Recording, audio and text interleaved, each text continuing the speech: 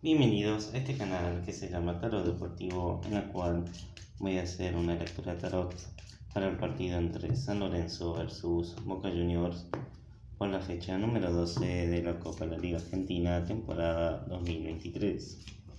Los invito a suscribirse, activar la campanita y darle me gusta,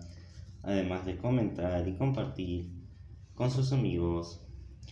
Bien, para eh, San Lorenzo empezará el encuentro queriendo cambiar eh, para este partido la formación táctica a utilizar para tener buena suerte a favor, tratando de tener un juego, una defensa bien sólida, tratando de que en el segundo tiempo empiece a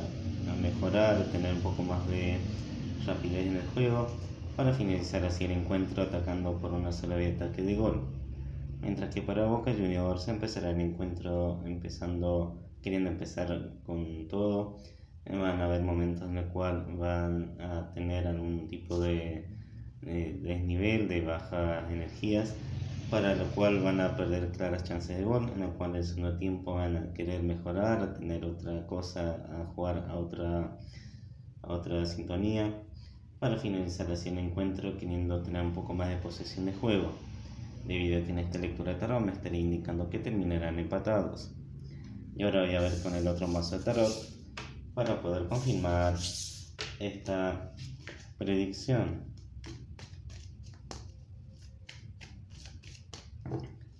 Sabiendo que este partido se jugará este próximo miércoles 8 de noviembre del 2023.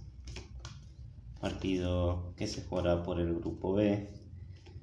fecha número 12 en que se jugará en el nuevo gasómetro, en el cual San Lorenzo empezará el encuentro queriendo mover algunas piezas para este partido, tratando de solventar alguna dificultad que se le puede presentar y queriendo renovarse para que en el segundo tiempo tengan algún tipo de eh, dudas a la hora de atacar para finalizar ese encuentro, aumentándose por aquellas situaciones de juego que hayan desperdiciado mientras que para Boca Juniors empezará el encuentro queriendo dominar al rival, tratando de tener un buen semblante y así querer gestar algo distinto para el segundo tiempo, moviendo algunas piezas, cambiando algún jugador para poder terminar el partido, cerrando eh, este ciclo con algunas eh, cuestiones de favorables y desfavorables que quieren resolver para el futuro. Debido a que en este lectura de me estaré indicando y confirmando que terminarán empatados. Esto ha sido todo por hoy. Muchas gracias por ver el video. Nos vemos en la próxima. Adiós.